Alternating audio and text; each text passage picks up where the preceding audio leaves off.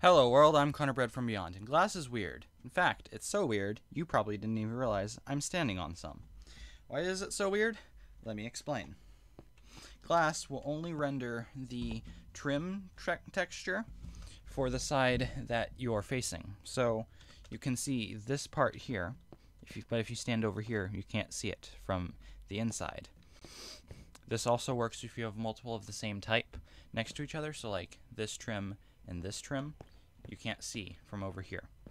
If you have different types next to each other, you can see the faces that are kind of attached to each other where they intersect, but you still can't see this part of the trim. And this does work with both tinted glass and stained glass.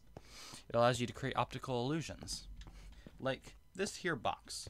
Now this is one, two, three, four blocks tall, and as you can see, there's nothing below it. So if I were to hop on here and break down four blocks, I should fall through, but I didn't. Maybe it's one more? No?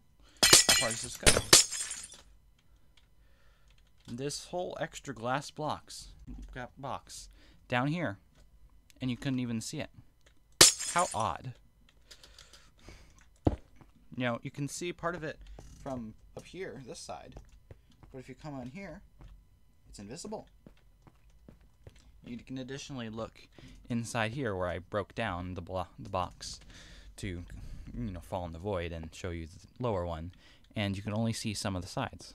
So if I stand here you can see the side from over here and over here but then if I stand over here you see the other two sides. It's very strange but interesting behavior. But that's all I have for today if you enjoyed this video or found it useful, please be sure to leave a like, subscribe to the channel, and ring the notification bell if you haven't already. But thank you for watching. That's all. Bye.